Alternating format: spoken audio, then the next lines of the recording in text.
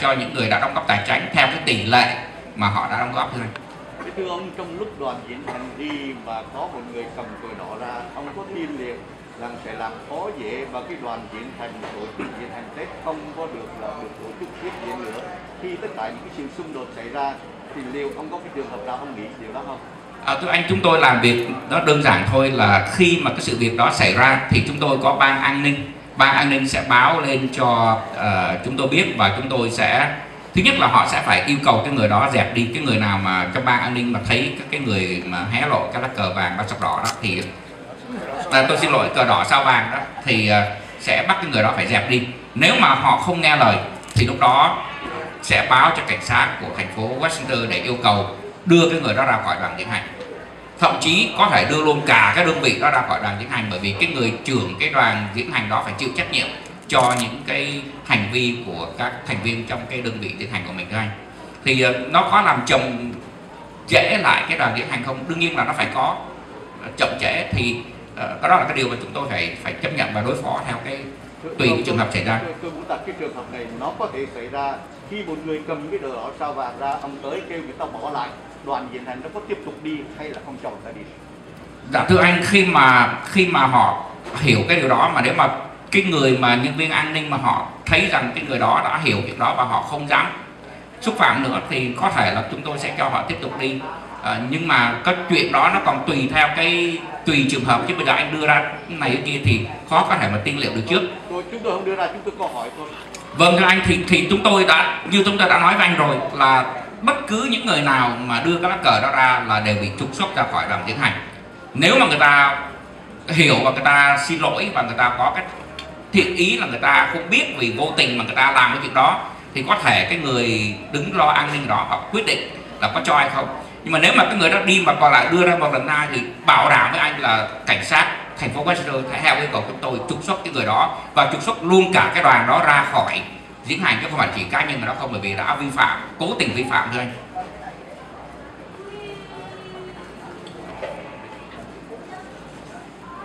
Không biết uh, quý cơ quan truyền thông báo chí nào có câu hỏi không? Cảm ơn anh đã đặt các câu hỏi đó. Đó những điều mà chúng tôi cũng tiên liệu và chúng tôi sẽ tiếp tục phải đặt đó. Anh xin mời anh ờ, Văn Lan của báo người Việt.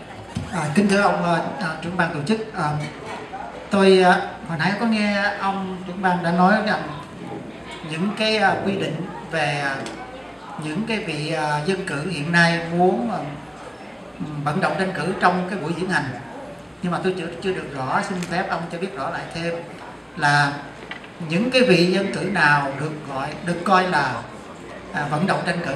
Tôi thấy năm những năm trước có những vị dân cử đang đương nhiệm thì họ có những cái xe hoa có tên của họ họ đi diễn hành thì được. Thì năm nay những trường hợp đó có được hay không? Vâng thưa anh uh, họ có quyền đi diễn hành và họ có quyền đưa cái uh, danh uh, hiệu tức là cái title của họ.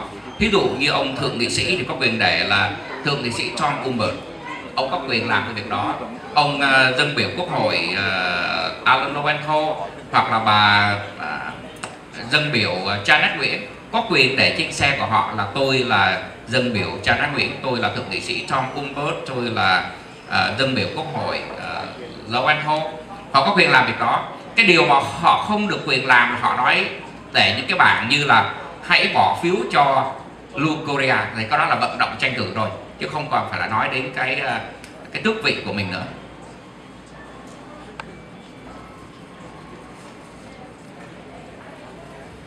Vâng, xin mời anh uh, Quốc Thái, không biết anh chắc là anh phát biểu với cách truyền thông báo chí hay anh?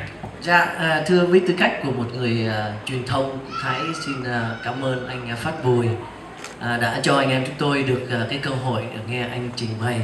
à, sau một lần à, một năm trôi qua và anh không có tổ chức ở trên đường Bosa, với cái kinh nghiệm của anh và lần này như hồi nãy anh có trình bày rằng là lần này có hai đơn vị để mà à, nộp đơn cho cái vấn đề tổ chức trên à, đại lộ Bonsa đơn vị của anh và một đơn vị nữa à, cái người thắng thì bao giờ cũng cảm thấy vui còn cái người mà không được cái ờ, permit này sẽ là một cái người buồn. Thế thì lần này anh có những cái phương pháp nào để mà hàn gắn cái ờ, nỗi đau đó của cái người mà bị thua cuộc để mà mời họ à, đến với lại à, diễn hành Tết và đi chung trên con đường Bosa? À, chúng tôi cũng biết về vấn đề này. Anh suy nghĩ ra sao? Cảm ơn anh rất nhiều. Xin cảm ơn anh Quốc Thái. Một câu hỏi vô cùng tế nhị và tuy rằng là nó phức tạp nhưng mà tôi nghĩ nó cũng không khó trả lời bởi vì trong cái buổi họp của hội đồng thành phố Westminster, câu hỏi này cũng đã được đặt ra bởi ông Charlie Nguyễn Mạnh Trí. Thì à, khi à, ông Charlie Mạnh Trí đưa ra cái đề nghị là hãy để cho hai tổ chức này cùng làm việc với nhau và cùng làm đồng trưởng ban tổ chức diễn hành Tết, thì tôi là cái người đã à, được trả lời trước và ông Nguyễn Quốc Lân là người được trả lời sau thì cả hai đều trả lời một cách ờ, rất là rõ rệt là cái việc mà làm việc chung với nhau nó không phải là dễ dàng, rất là khó và nếu mà có thể nói là không thể làm thực hiện được. Và ông Lân cũng có chia sẻ cái quan điểm rằng ông không có cái quyền để mà quyết định thay cho ban tổ chức của ông. Và tôi cũng trả lời với lại các nghị viên hội đồng thành phố là tôi không có quyền tự ý trả lời thay cho ban tổ chức của tôi khi mà có những quyết định như vậy, tôi phải về họp với tất cả các thành viên của trong ban tổ chức để lấy quyết định chung mới mới được. Chứ còn những cái việc lạc vặt khác thì có nhiều khi, một đôi khi vì tính cách cấp thời tôi có thể tự quyết định được. Nhưng những cái việc trọng đại như thế thì bắt buộc phải là lấy quyết định chung. Thế thì tôi đặt cái câu hỏi là bây giờ chỉ còn có hai tháng rưỡi. Ông luật sư thành phố lại đề nghị rằng là hãy chờ đến tháng 12 đầu tháng 12 khi hội đồng nhân họp lại quyết định. Tôi đang ngày hôm nay các ông phải chọn một trong hai. Hoặc là cho giấy phép cho tổ chức này, hoặc là giao giấy phép cho tổ chức kia. Bởi vì nếu ông đợi đến đầu tháng 12 đó, thì tổ chức nào được ra cái trọng trách đó cũng chắc chắn sẽ thất bại. Và nếu mà là tôi tôi sẽ không nhận lời. Bởi vì lúc đó tôi không bao giờ muốn tổ chức của chúng tôi làm một cái việc gì mà thất bại. Đã làm là phải thành công. Thì thưa anh bây giờ, chúng ta nhìn lại vấn đề mà tôi cũng đưa ra rất rõ là thông thường hai tổ chức mà không có những cái đụng chạm mà đã bốc lửa mà đã quyết liệt như là tổ chức của ông Nguyễn Quốc Lân đã nhục mạ liên hội của chiến sĩ nhục mạ tập thể chiến sĩ thì không thể nào mà ở trong cái giai đoạn này có thể ngồi lại được cho đến khi những cái sự việc đó nó được uh, hàn gắn những cái sự uh, tha thứ nó đã được, uh, được uh, chấp thuận. Thành ra cái việc nó vô cùng khó khăn nội một cái việc hai tổ chức bình thường thôi.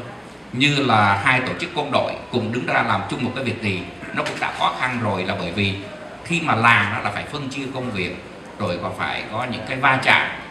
Mà bây giờ chỉ còn có hai tháng rưỡi, thành ra chúng tôi nghĩ rằng không nên mất thì giờ vào cái việc đó. Cái việc đó nếu mà hàng gắn trong tương lai thì chúng ta sẽ để một cái dịp khác để chúng ta tìm cách đoàn kết và hàng gắn lại và tha thứ cho nhau nhưng mà trong cái bối cảnh diễn hành Tết bây giờ thì hai tháng rưỡi để lo chạy sợ còn rất bất sang bang còn chưa kịp. Thành ra không thể nào mà cu mang thêm một cái việc à, nặng nề nữa là cái việc giải quyết những cái hụt hặc mà nó có thể nói là nó ăn sâu à, từ cái à, trước cái thời à, tượng đài tái chiếm của đài Quảng Trị cho đến khi mà cái tượng đài quảng tái chiếm Quảng Trị đó đã như là viên nước đổ tràn cái ly rồi rất khó để có thể thốt lại đầy lại. Và trong cái buổi mà phỏng vấn của uh, ông Nguyễn Quốc Lân trên phố Bông Sa vào ngày hôm qua mà chúng tôi được coi một phần ngắn thì ông Lân cũng đã nói rõ rằng là đối với ông và một số những người thành viên trong tổ chức của ông thì bây giờ chỉ có triệt tiêu đối thủ chứ không có làm việc với đối thủ được. Mà một là đối thủ chết hai là mình chết. Đó là lời nói của ông Lân. Tôi nghe qua đó thì tôi cũng lạnh người là bởi vì đã như vậy thì làm sao còn có thể có cơ hội để làm việc với nhau thưa anh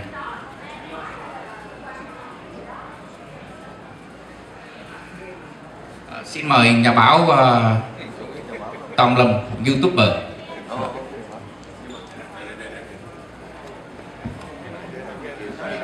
Hello.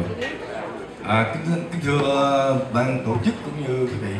À, bây giờ tôi xin nhắc lại cái câu hồi nãy đó là ông nhà báo đoàn trọng ổng ông hỏi là vấn đề điếu cờ đỏ sao vàng xuất hiện thì như thế nào? Thì ông Pháp Bùi có ờ, trả lời một cách là nhưng mà tôi xin nhắc lại cái chỗ này cái câu mà ông Pháp Bùi mà tôi đề nghị phải rút lại cái câu này là nói nếu mà lỡ thì cho đi luôn. No way! Không có chuyện mà đi luôn. Không có chịu đi luôn. Nó no, không có, không có thể nào đi luôn được đó bây giờ ông phải làm sao? Ban tổ chức mấy ông là phải có cách nào mà mời tất cả mấy ông quân đội của ở Nam Cali để mà giữ trật tự mật bằng mọi giá? Bởi vì mình cái câu vừa rồi đó có thể là đối phương nó sẽ nó sẽ lợi dụng cái câu này nói nó dập ông á. Nha. À, thành thử ra cái ý kiến của tôi là như vậy. Và nói chung là tôi không phải ờ, cái ý ờ, xấu với ông. Ờ, ban tổ chức mà tôi xin nhắc nhở. À, tôi xin hết rồi vâng tôi xin uh, uh, giải thích cho nó rõ hơn bởi vì cái uh, cái câu tôi nói có thể làm cho anh uh, anh Tom Lâm uh, không có uh, hiểu lầm. Tôi không có nói là lỡ rồi cho đi luôn. Cái chuyện đó tôi không có nói nhé. Tôi nói đây là nếu mà họ đồng ý bỏ các lơ cờ đỏ sao vàng đó đi đó và họ tuân thủ theo cái luật uh, điều lệ của chúng ta. Vì cái người an ninh ở ngay tại chỗ nhận thấy rằng đây là một cái ờ, lầm lẫn ờ, vô tình, thì có thể cái người đó cho đi. Khi mà sau khi cái ông, cái người kia dứt khoát cam kết là sẽ không có đưa cái đó ra nữa. Và nếu mà cái việc mà ông, cái người mà an ninh, thành ra tôi phải nói rõ lại, cái nhân viên an ninh đó mà nhận xét thấy rằng đây là một cái sự cố tình, thì đương nhiên là sẽ dẹp luôn, chứ không phải là là cho đi tiếp chắc chắn là cái việc mà vừa đi vừa cầm tiếp đó, vì lỡ đã đưa ra rồi, đi luôn đó, thì cái chuyện đó không phải là ý tôi nói như vậy. Chắc chắn là không được đi tiếp tục. Nhưng mà nếu mà cái người nhân viên an ninh mà thấy rằng đây là cái người họ vô tình, thì có có thể cái người đó họ quyết định ngay tại chỗ là cho đi tiếp một giai đoạn ngắn nữa. Và nếu mà cái cái việc đó như tôi đã nói là đi mà còn vẫn tiếp tục đưa lá cờ ra đó thì lúc đó là cái sự cố tình và sẽ đuổi ngay, không phải là cá nhân người đó, mà đuổi nguyên một cái đoàn đó ra khỏi tiến hành tết thưa anh. Như vậy thì tôi nghĩ tôi, có lẽ tôi nghĩ là giải thích rõ ràng. Còn nếu mà cái trường hợp mà anh sợ người ta lợi dụng, để mà người ta nhá thử một chút xíu là người ta chụp cái hình rồi người ta bêu xấu mình đó. Thì à, thưa anh, cái việc đó đó, tôi nghĩ rằng là qua cái việc mà chúng ta bắt họ dẹp đi, thì nó cũng đã thấy rõ là chúng ta thắng và họ phải nghe theo lời của chúng ta thì tôi chỉ nghĩ vậy thôi, nhưng mà cũng có thể là ban an ninh họ sẽ đưa ra một cái đề nghị khác.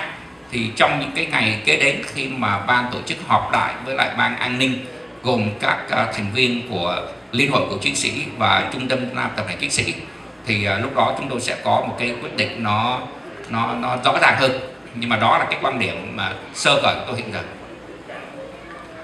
Xin mời à, anh Hoàng Tấn Kỳ Ờ, là, là một thành viên của liên hội chiến sĩ mà cũng là người đặc trách à, à, vấn đề an ninh thì à, xin anh cho biết ý kiến.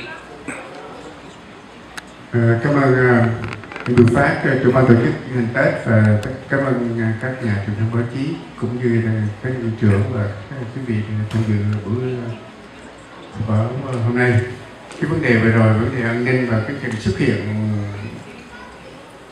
cố tình hay vô ý của một thành viên nào đó một người nào đó mà đưa cái cờ đỏ sao vàng trong cái cuộc chiến hành này. Là ông Dung chủ ban tổ chức đã khẳng định rồi thì chúng ta không chấp nhận được. Tuy nhiên cái cách giải giải thích và giải quyết của ông, ông chủ ban tổ chức tôi thấy nó có gì đó không có được uh, ổn lắm. Thì ngày mốt đây à, vào ngày à, chủ nhật thì liên hợp của chiến sĩ chúng tôi sẽ có buổi họp. Và chúng tôi cũng sẽ nêu cái vấn đề này ra bởi vì liên hội của chiến sĩ đã phụ trách chuyển đề phòng an ninh dọc theo suốt cái lộ, lộ tịch của diễn hành. Do vậy cái vấn đề mà một người nào đó cố tình hay cố ý hay là muốn cho cái quan điểm của cuộc diễn hành đổi chiều đổi màu thì chúng tôi xin ban tổ chức nên có quyết định dứt khoát là không chấp nhận bất cứ sự xuất hiện nào của cờ đỏ sao vàng.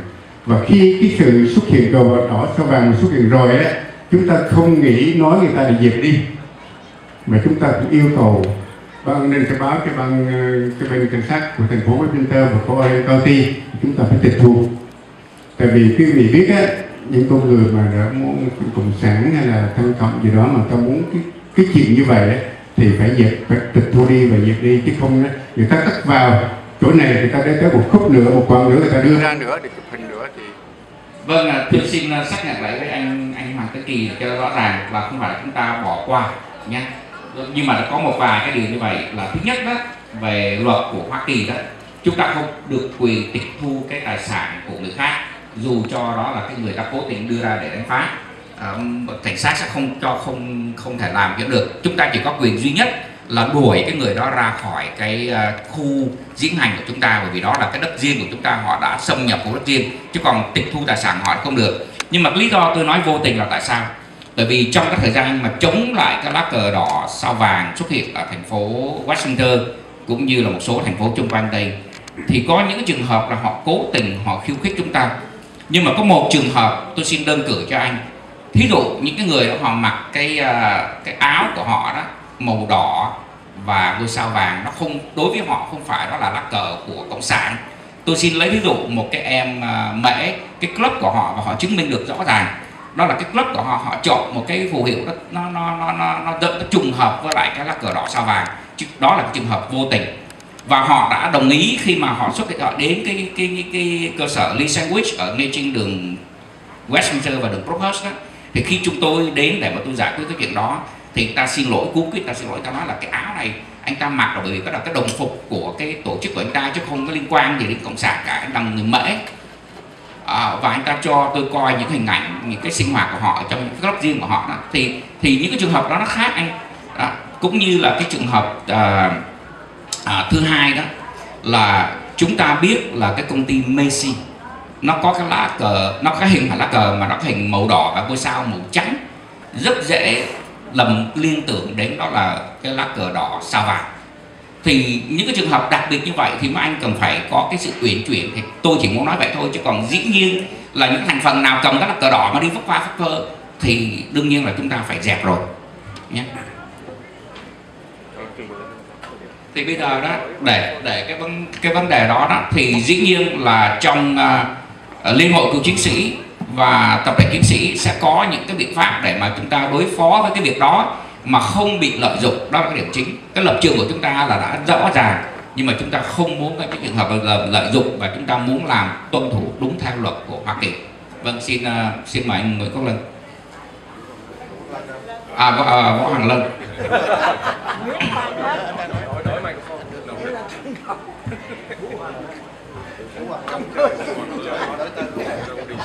dạ cảm ơn anh đã quý vị thông cảm tôi Tôi tên từ sáng đến giờ chưa có gì trong ăn trong bụng thành ra cũng uh, thiếu đường rồi.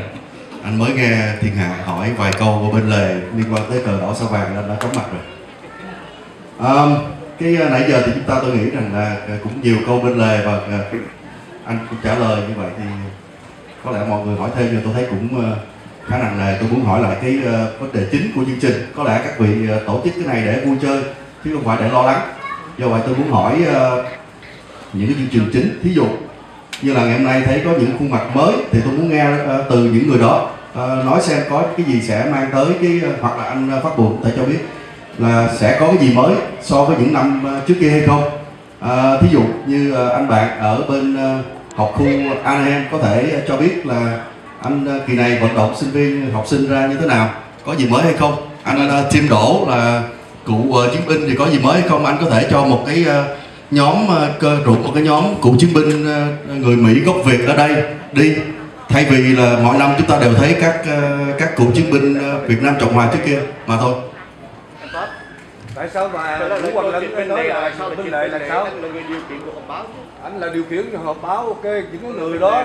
Nói chuyện bá láp bên lệ sao được xin à, xin à, anh anh à, là ở đây ý nói rằng là nó cái chương trình là cái nội dung chính và cũng có những cái anh nội đâu có dung quyền. Anh là nhà báo Dạ, anh xin đâu lỗi có anh. quyền. Xin lỗi mấy anh mấy anh yêu tôi yêu cầu mấy anh giữ trật tự để ban tổ chức chúng tôi làm việc. À, chúng tôi xin mời anh à, à, tôi không nghĩ rằng là anh à, lần có cái ác ý. Xin mời anh muốn tập trung về vấn đề câu chuyện chính thôi. Xin mời anh à, Dạ, em cảm ơn anh anh Lân, Lân à, đã đặt câu hỏi. Thì nói ra đó, à, em là Ricky Phạm của học khu trung học Anaheim và đã từng